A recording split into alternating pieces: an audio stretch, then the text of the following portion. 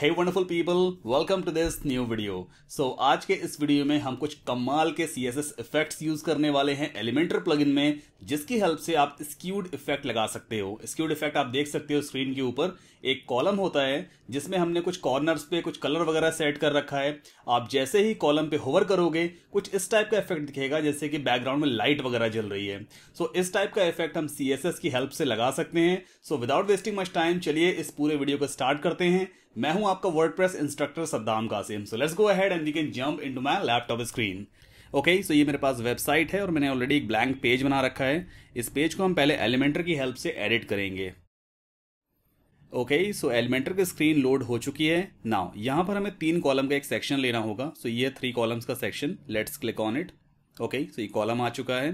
इसके बाद हमें इस सेटिंग आइकन पे क्लिक करना होता है एडिट सेक्शन करेंगे और सबसे पहला काम करते हैं लेआउट में जाते हैं और यहाँ पर हम इस पूरे सेक्शन की एक हाइट को सेट कर देंगे। So let's make it fit to screen ताकि पूरी हाइट यहाँ पे इंक्रीज हो जाएगी। आफ्टर दैट मिडिल वाला जो कॉलम है इसके अंदर हम लेंगे एक इनर सेक्शन सो यह है inner section let's drop it over here अब इनर सेक्शन बाय डिफ़ॉल्ट दो कॉलम्स में डिवाइडेड होता है आपको मालूम ही होगा। सो so, दूसरे वाले कॉलम को हम यहाँ से कंप्लीटली डिलीट करेंगे। Let's delete it okay? अब नेक्स्ट वर्क हमें क्या करना है? इस पूरे आउटर सेक्शन का बैकग्राउंड कलर डार्क करना है, ताकि जब हम होवर इफ़ेक्ट लगाएँगे तो उस केस में लाइट वगैरह टाइप का इफ़ेक्ट दिखाई देगा।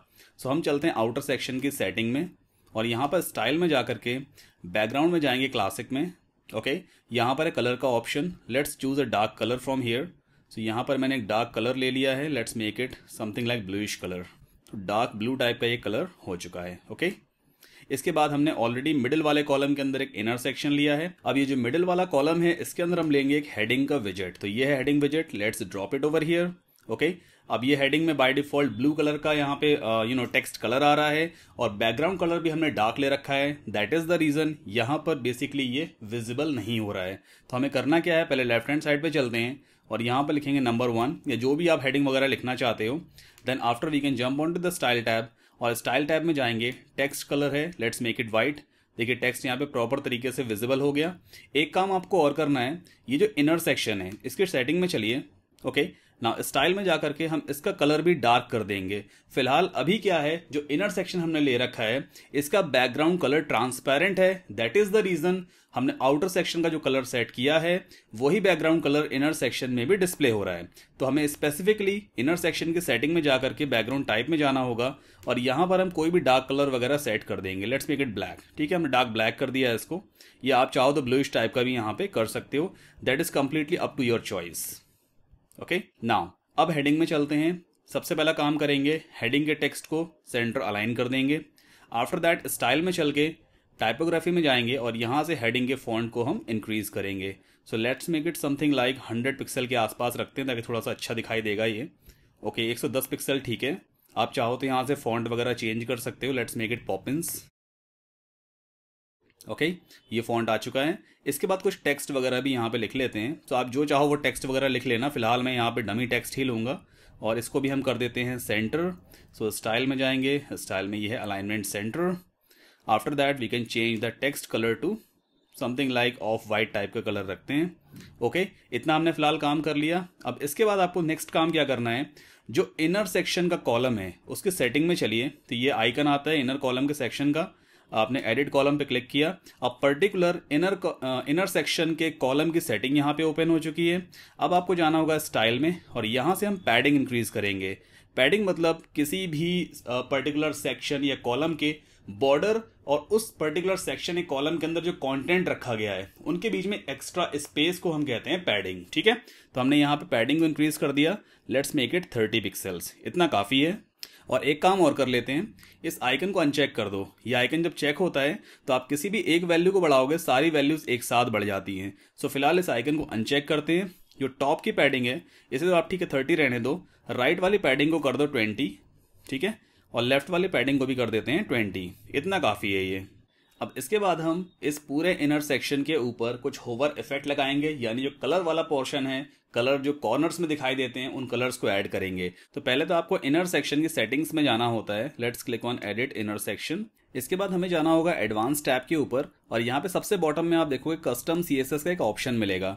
ये कस्टम सीएसएस का ऑप्शन सिर्फ़ आपको एलिमेंटर प्रो में ही मिलेगा। तो मैंने एलिमेंटर प्रो का लिंक इस वीडियो के डिस्क्रिप्शन में दिया हुआ है जहाँ से आप एलिमेंटर प्रो सिर्फ़ टेन डॉलर का परचेज कर सकते हो। आपको फोर्टी नाइन डॉलर स्पेंड करने की ज़रूरत नहीं है। राइट सो so, यहाँ पे बेसिकली हमें एक सीएसएस कोड एंटर करना होता है। तो मैंने ऑलरेडी एक सीएसएस कोड अपनी वेबसाइट पर लिख रखा है as a blog post link मैंने वीडियो डिस्क्रिप्शन में दिया हुआ है। आप सिंपली इस पेज के ऊपर जाओगे और यहाँ पे सबसे पहला कोड है C S S code for squid effect so आप सिंपली यहाँ से पूरे के पूरे कोड को कॉपी कर लीजिए। मैंने कॉपी कर लिया है।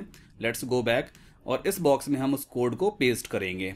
ऑल राइट सो आप यहाँ पे देख सकते हो एक ग्रेडियंट टाइप का कलर ऑलरेडी बैकग्राउंड में ऐड हो चुका है। अब एक काम आपको और करना है, आप इनर सेक्शन के कॉलम में चलो। देखिए, ये दो कॉलम्स हैं, आपको इनर सेक्शन वाले कॉलम में जाना है। इसकी सेटिंग में पहले आप चलिए, और यहाँ पे स्टाइल में जाकर के आपको इसके भी बैकग्राउंड कलर को कुछ डार्क टाइप का कलर सेट कर देना है। So let's make it something like dark blue ठीक है इस टाइप का कलर सेट कर देते हैं। सो so, देखिए आपको इस टाइप का इफ़ेक्ट यहाँ पर दिखाई देगा ओके नाउ नेक्स्ट कोड हमें क्या ऐड करना है? वो भी मैंने यहाँ पे लिख रखा है। नेक्स्ट कोड है हमारे पास C S S code for squid blur effect यानी ब्लर टाइप का इफ़ेक्ट कैसे ऐड होगा? तो आपको सिंपली इस कोड को यहाँ से कॉपी करना है। फ़िलहाल अभी मैं आपको बताऊँगा कि आपको कलर वगैरह अगर चेंज करना है, अपना खुद का कलर लगाना है तो आप कैसे लगाओगे? डोंट वरी अबाउट दैट मेरे माइंड में क्वेश्चन पहले से ही है। हम चलते हैं वापस एलिमेंटर में। अब जहाँ पर हमने सीएसएस कोड ऑलरेडी पेस्ट कर रखा था, ये कस्टम सीएसएस वाले बॉक्स के अंदर ओके हम इनर सेक्शन की सेटिंग पे थे बाय डिफ़ॉल्ट तो यहाँ पे चलते हैं कस्टम सीएसएस में ओके यहाँ पे कोड लिख रखा है। लास्ट लाइन में जाइए डबल एंटर मारिए। और आपको दूसरा कोड यहाँ पर पेस्ट कर देना है। Okay okay? देखिए हमने जैसे सेकंड कोड पेस्ट किया इस टाइप का ये बैकग्राउंड में लाइट टाइप का इफ़ेक्ट आ गया। तो ये हमारा दूसरा काम हो चुका है। अब थर्ड हम जैसे ही माउस होवर करेंगे इस पर्टिकुलर कॉलम के ऊपर तो यू you नो know, थोड़ा लाइट टाइप का इफ़ेक्ट होना चाहिए। वो कैसे होगा वो भी मैं आपको दिखाता हूँ। यहाँ पर आपको फिर एक और सीएसएस कोड ऐड करना है। तो वापस मेरी वेबसाइट पे आप जाओगे जो कि वेबसॉफ्ट ग्लोबल डॉट कॉम है और यहाँ से आपको थर्ड कोड मिलेगा C S S code for squid hover effect यहाँ से भी आप इस कोड को कॉपी कर लीजिए। वापस एलिमेंटर में चलते हैं। ओके?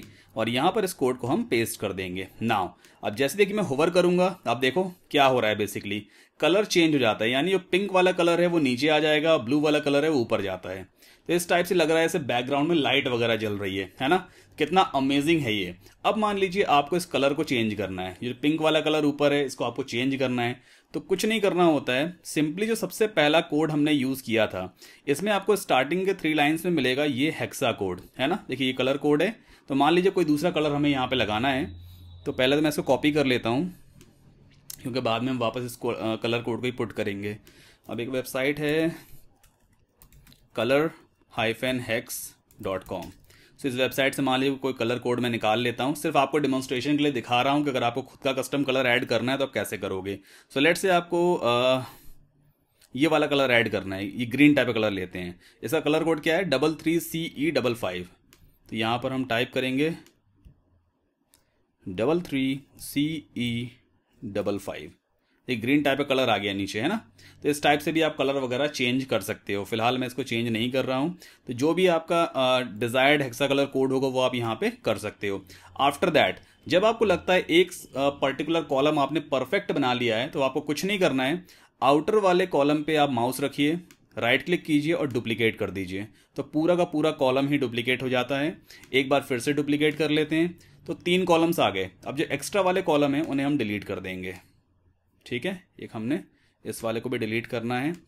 तो टोटल हमने तीन कॉलम्स यहाँ पे बना लिए हैं। अब अगर आपको कॉलम्स के बीच में गैप ऐड करना है तो आपको सिंपल सा लॉजिक मालूम है। पहले वाले कॉलम में चलो एडवांस में जाओ, और यहाँ पर हम राइट में कुछ मार्जिन ऐड कर देंगे। अब जैसे मार्जिन देखिए ऐड करेंगे, ये इस टाइप से कुछ आ जाता है ट्वेंटी फाइव पिक्सल की मार्जिन मैंने यहाँ पे ऐड कर दी है। इसी तरह से सेकंड वाले में भी चलते हैं, और इसमें कुछ लेफ़्ट में मार्जिन ऐड करेंगे। लेट्स मेक इट ट्वेल्व और ट्वेल्व राइट में भी कर देते हैं। ताकि इक्वल टाइप के कॉलम से दिखाई देंगे। और थर्ड वाले कॉलम में भी सेम रूल हमें लगाना होगा। लेफ़्ट में ऐड करेंगे हम approx twenty five pixels okay तो तीनों की हाइट ऑलमोस्ट एक जैसी दिख रही है। अब आप चाहो तो हेडिंग वगैरह यहाँ से चेंज कर सकते हो। Let's make it three okay अब हम इसका रेस्पॉन्सिव मोड भी चेक कर लेते हैं कि भाई मोबाइल पे या किसी और डिवाइस पे किस टाइप का दिखाई देगा। तो फॉर एग्जांपल यहाँ पे ऑप्शन ऑलरेडी दिया होता है रेस्पॉन्सिव मोड का, इस पर हम क्लिक करते हैं। ओके? अब सबसे टॉप पे आप देखो, यहाँ पे तो डेस्कटॉप व्यू है, इसके बाद टैबलेट व्यू देख लेते हैं। टैबलेट पे इस टाइप का दिखाई दे रहा है परफेक्ट है, ठीक है है ना? थ्री टाइप का इफ़ेक्ट है।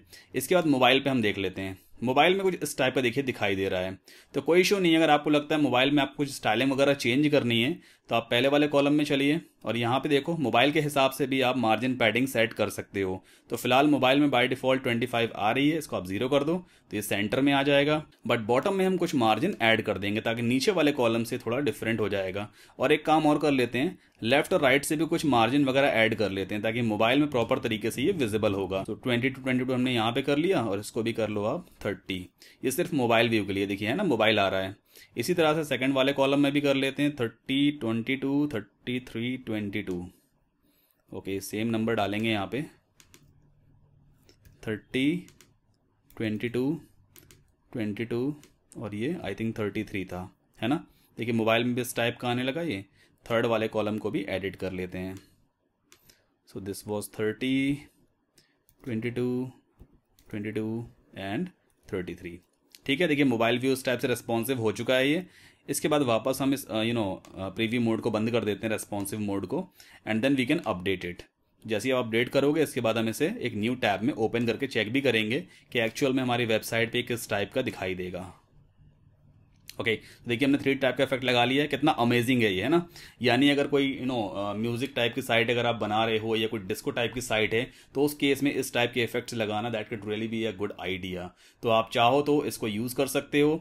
Uh, मेरी वेबसाइट का लिंक मैंने ऑलरेडी वीडियो डिस्क्रिप्शन में दिया हुआ है जहाँ से आपको सारे सीएसएस कोड्स वगैरह मिल जाएँगे। कॉपी कीजिए प्रैक्टिस कीजिए और ये एलिमेंटर का कुछ एडवांस लेवल के टिप्स एंड ट्रिक्स हैं जो मैंने आपको बताया है। सो so, अगर आपको ये वीडियो पसंद आया प्लीज़ वीडियो को लाइक ज़रूर कीजिएगा। मेरे चैनल को सब्सक्राइब ज़रूर कर लीजिए। और कोई ऐसा टॉपिक है जिस पे आप वीडियो चाहते हो तो कॉमेंट सेक्शन में ज़रूर लिख करके बताइए। Till then have a good health and thank you so much